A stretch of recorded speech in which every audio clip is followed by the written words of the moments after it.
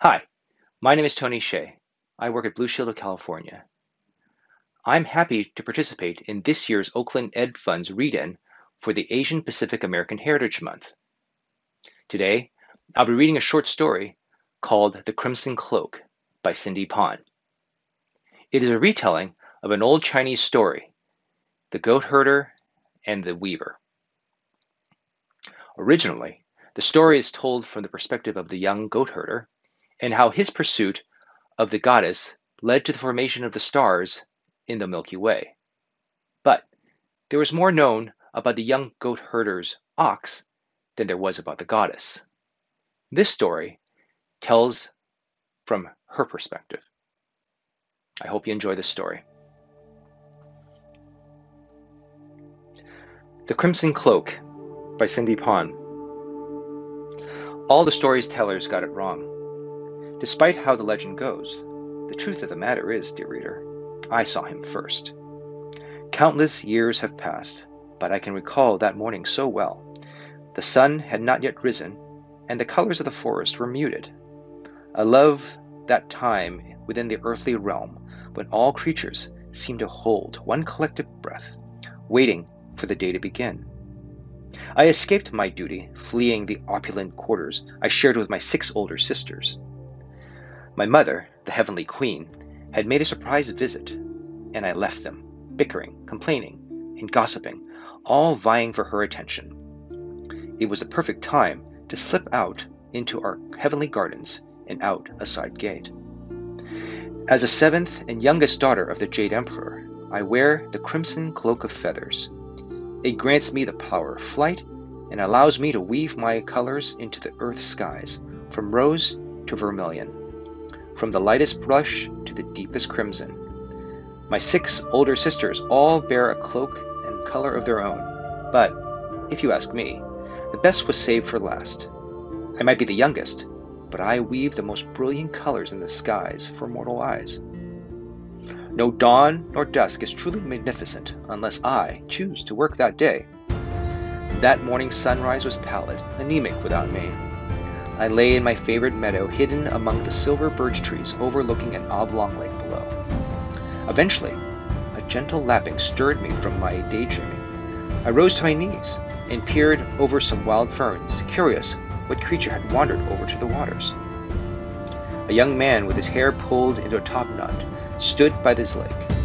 His companion, an old ox with majestic horns and a golden yellow coat, drank at the water's edge. Humans did not often visit this meadow, and it was rare that I came this close to a mortal boy.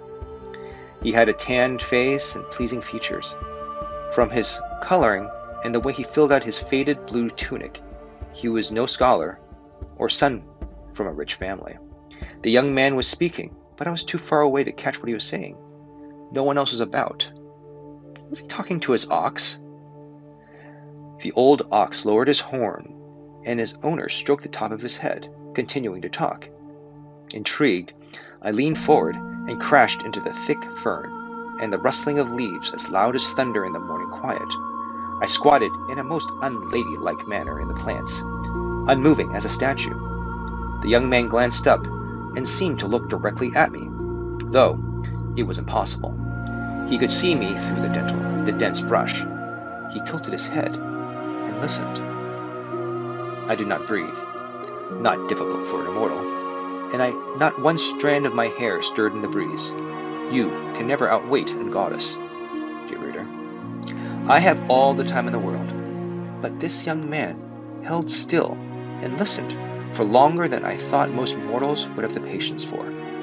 What was he doing out there alone, so far from the nearest village? I had been restless and bored for over a season. What would it be like to talk to him? My sisters had flirted with mortals before. Perhaps this was my turn. I'd certainly make a more make for a more interesting day. It felt like fate, an opportunity presented on a gilded platter.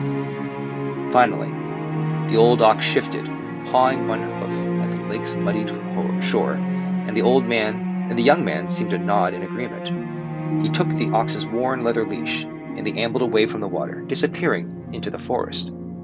Beyond my vision, Yet, I knew our paths would cross again. My sisters berated me for neglecting my duties that morning. But if every sunrise and sunset were washed in my beautiful colors, would you not be bored of it soon enough? Wouldn't you expect my crimson hues instead of appreciating them? It never ceases to amaze me how easily mortals take nature's beauty, and so many things really, for granted. But that particular morning's dusk, I made it up to my sisters and to the mortals who had gotten nothing that morning but a pale, yellow dawn that faded away into the span of a long yawn. Tying a silk sash from my crimson feather cloak, I leapt into the sky and wove a fluffy cloud at my feet, threading the faintest pink and blush until it grew to the size of a comfortable divan. Settling into its soft depths, I streaked gorgeous red across the sky, as deftly as a calligrapher with her brush. When I arrived home, weary from creating the magnificent display, my sisters enveloped me, a cocoon of silken sleeves and floral perfumes. You have outdone yourself, my fifth eldest sister said, stroking my cheek. We do not get we do get cross with you, little one, but you redeem yourself every time. My oldest sister, Dai Jie, added emphasis with a pinch of my arm. I feigned annoyance, annoyance and pouted, as was expected from the littlest sister. Do you know what it's like to be the youngest sister among six strong willed sisters? I learned very young how to get my way with each one of them, whether it was to act the insolent brat the sweet one with sugar coated words, or the naive innocent who could do no wrong. But that night, as I disentangled myself from their pet and cuddles and pinches and kisses, I was only thinking of the young man by the lake who spoke to his ox. I know my story, dear reader, or how the mortals prefer to tell it. Legend says that my young, my young man's magical wise old ox told him where to find me, bathing in the lake with my beautiful sisters, how he should look for the crimson cloak cast on the ground at the lake shore, how I could not fly away when I was discovered, how in this way he could coerce me to be his wife. Well, that's not how it happened. I escaped from our heavenly palace even earlier the next day, when the stars still winked across the dark velvet skies. I floated down, I, hand, I landed by the lake where I had seen the young man the previous morning, and waited. I didn't know the ways of mortals as much as I would like, but he might have just been passing through. But I wished for the young man and his ox to return that morning. And immortals often get what they're wished for. Soon enough, the crunch of footsteps and the tread of the ox's hooves sounded from the wood's depths.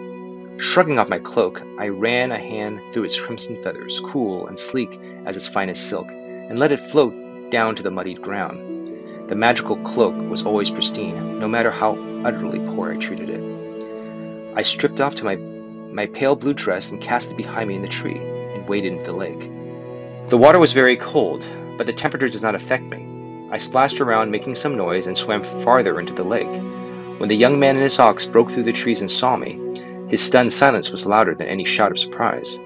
This time, I could see his features more clearly. The wide set of his dark brown eyes and the strong lines of his jaw.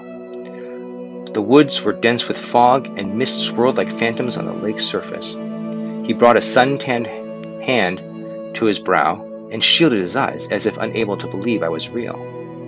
His stance reminded me of the fawn I'd come across in the forest, ears flicked forward in fear, one leg poised as if ready to bound off in a breath. I worried if I spoke, I might scare him away, so I resorted to what I did best. I tricked him. The old ox lowered its noble head to drink from the lake. When it finished, I put words into the ox's mouth. The maiden, the young maiden, has left her feathered cloak on the shore. The ox's speech came in a low rumble. Fetch it for her, boy.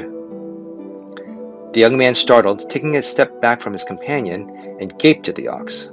The animal shook his head, his magnificent horns arcing through the air, and then lowed a deep sound that reverberated in the still of morning. Don't just stand there, the ox reprimanded, still speaking in the words I cast. The water is cold.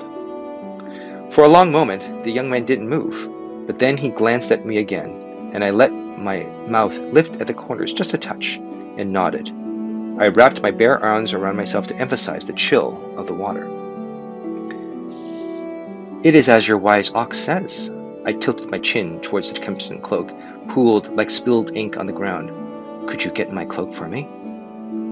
My words seemed to stun him more than his old ox speaking, but he sprinted my cloak and lifted it from the damp mud. I shivered, but not from the cold.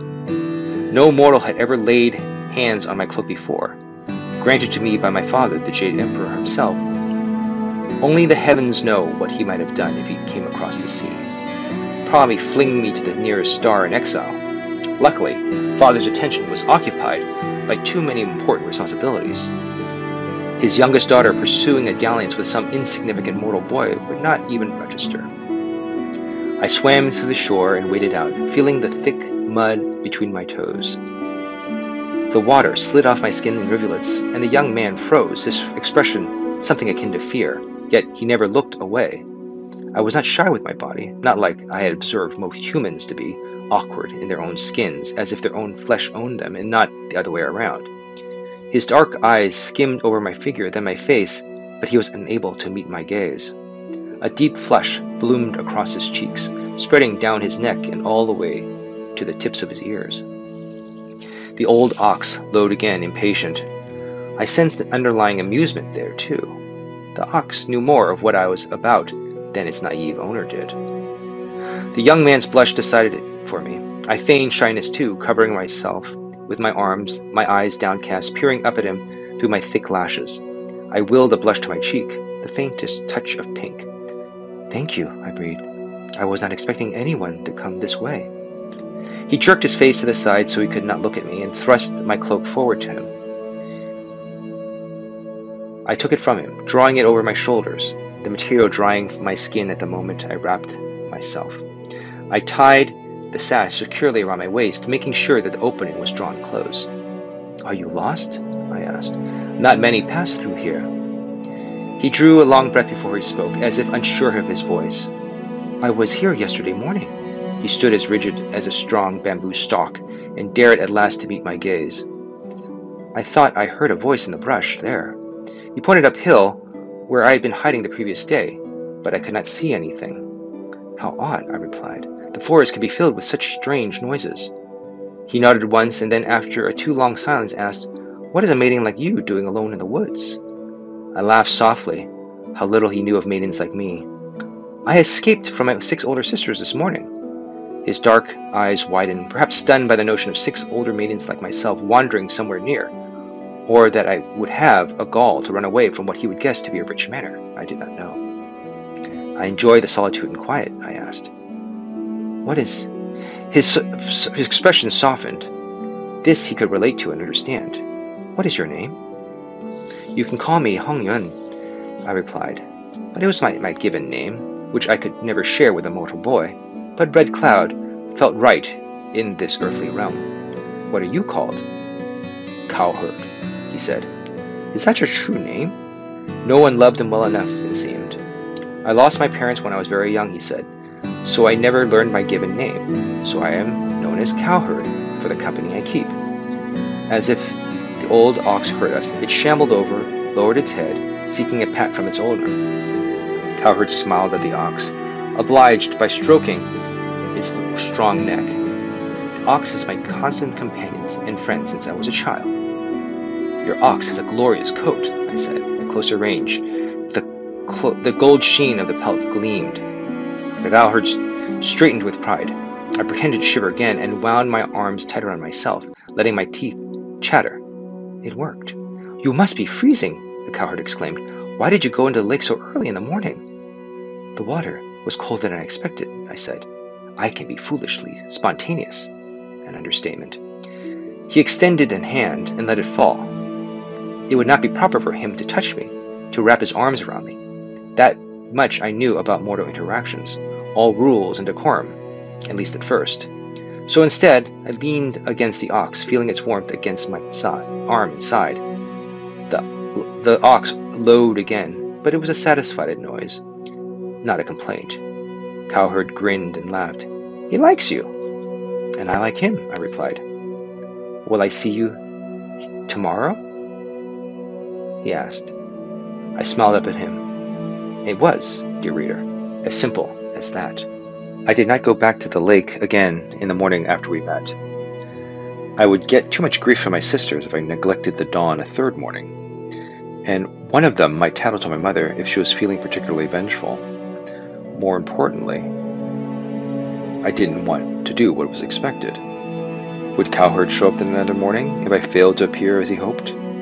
He did not disappoint me. When I returned two days later, he was already by the lake, his ox grazing on some wild grass closer to the woods. I waited for you yesterday, Cowherd said, but you didn't come. The disappointment tinging his voice was clear. It was impossible for me to get away, I replied, pursing my mouth. I'm so glad you returned.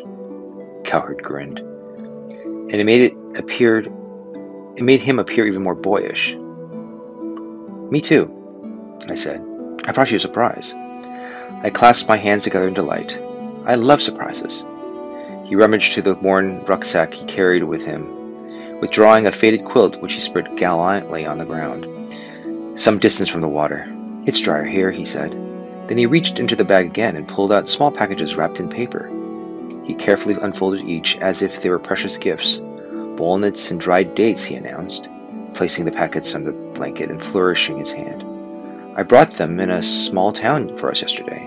He cleared his throat. A, a gift for you, truly, Hongyan, to make up for our rather awkward first meeting.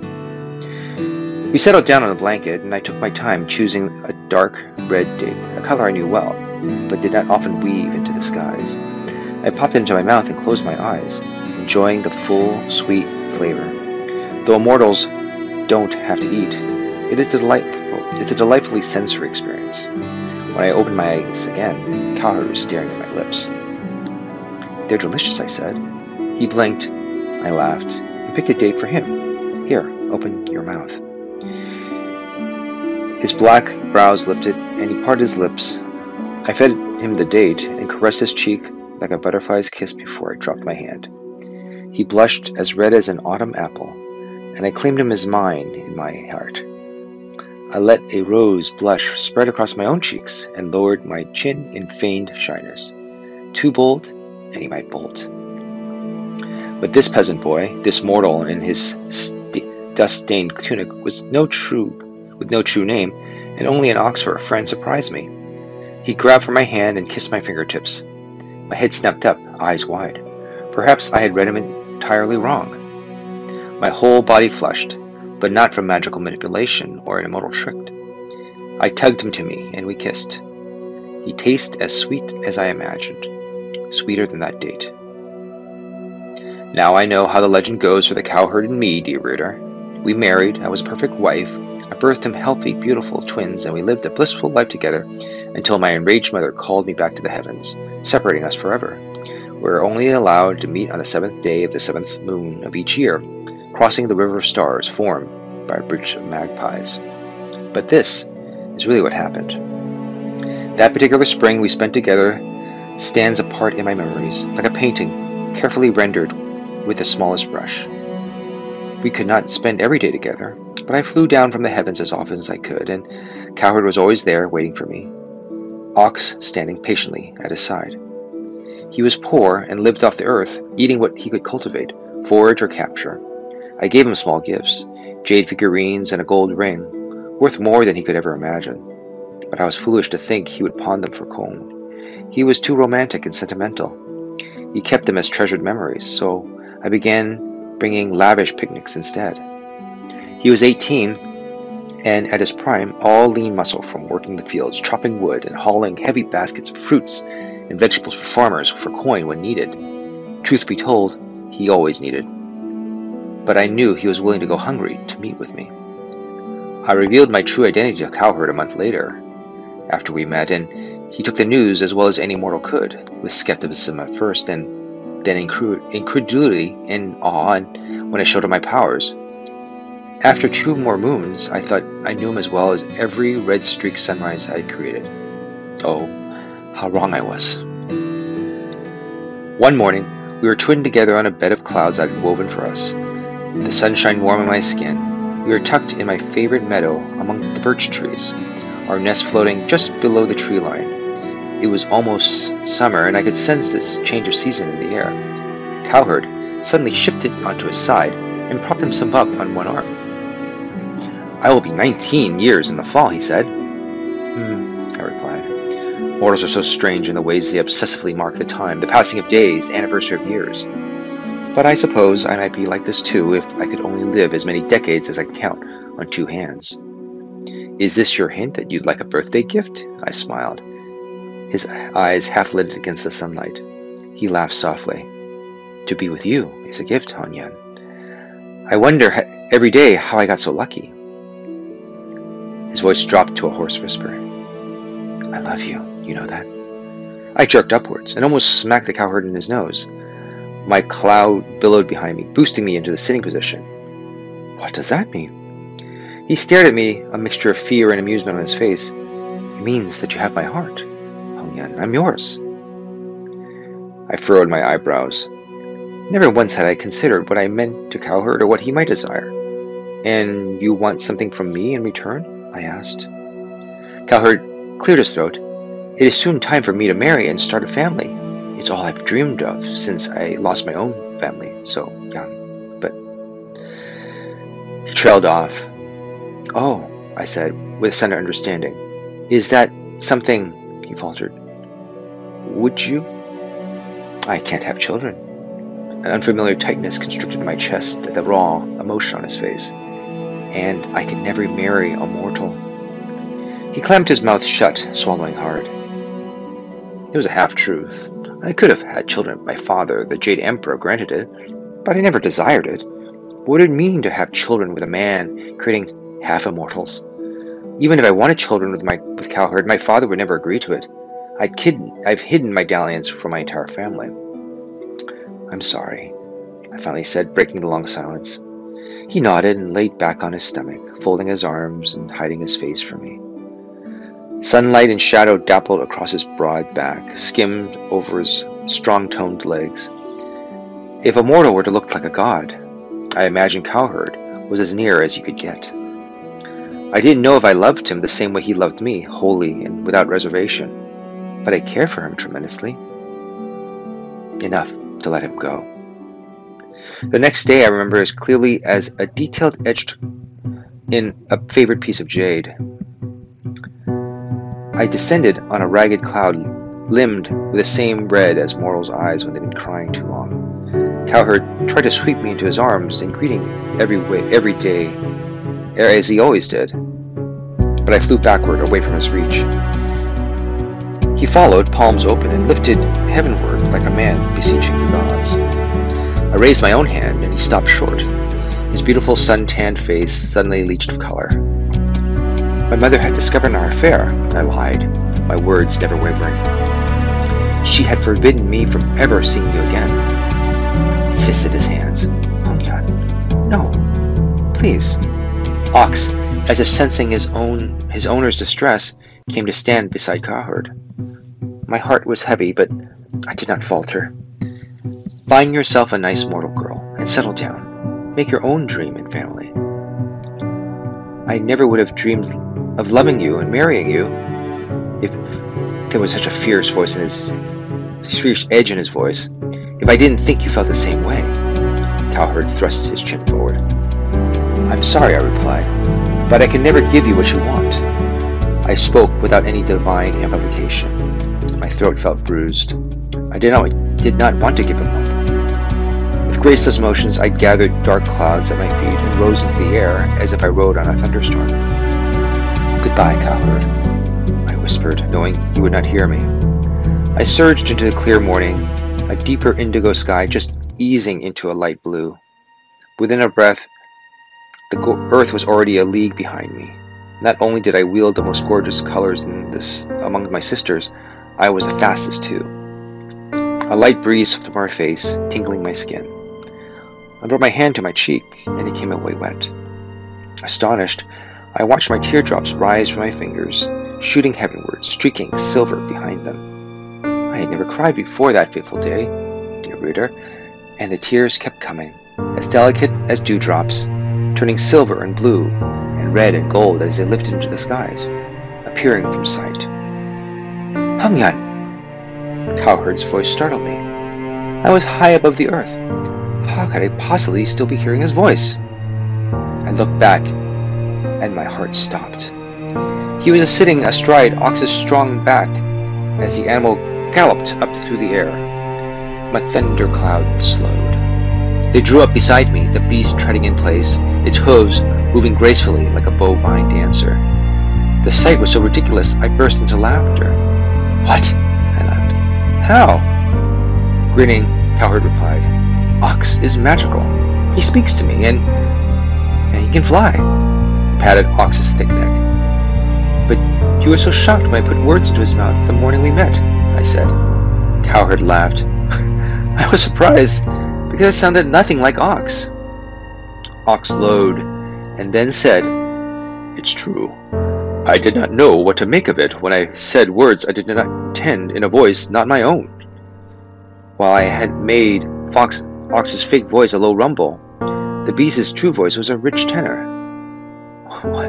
Why didn't you ever tell me? I asked. Cowherd's features turned serious.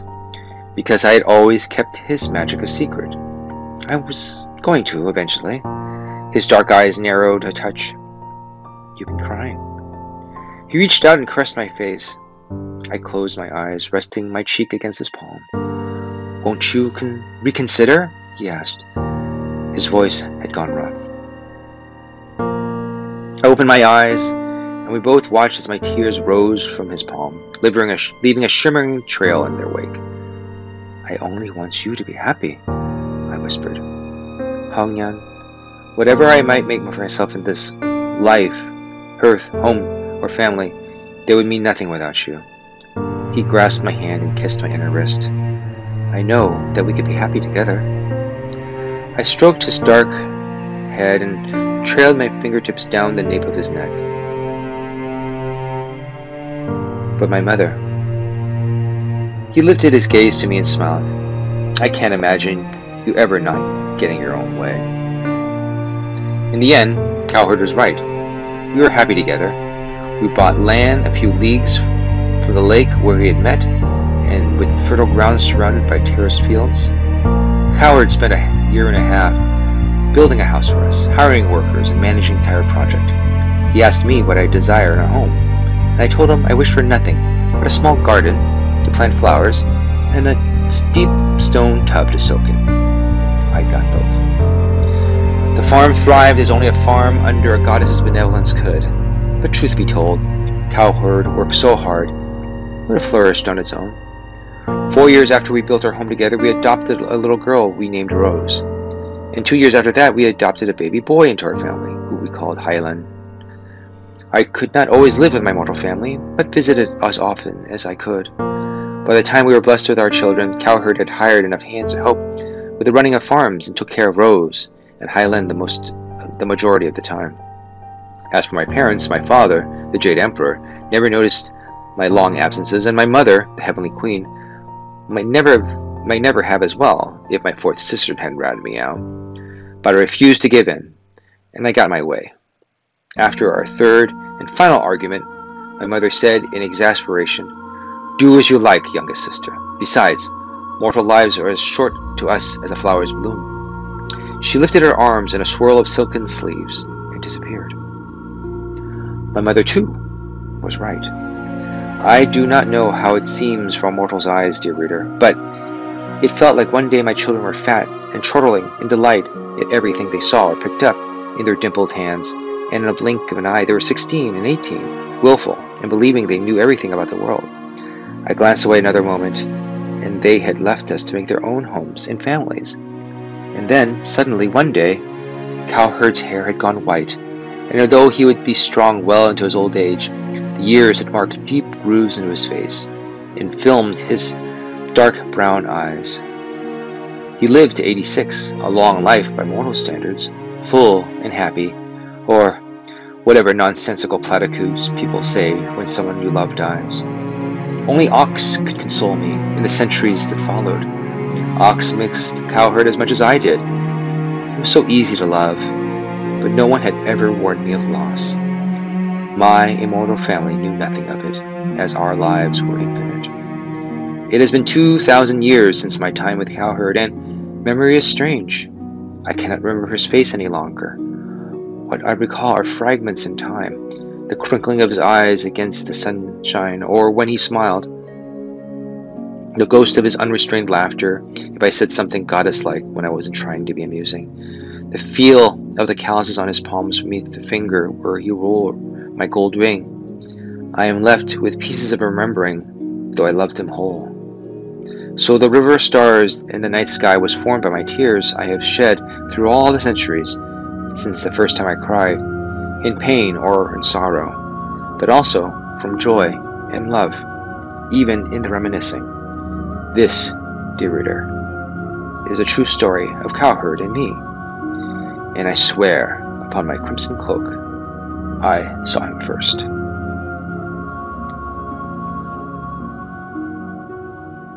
Thank you.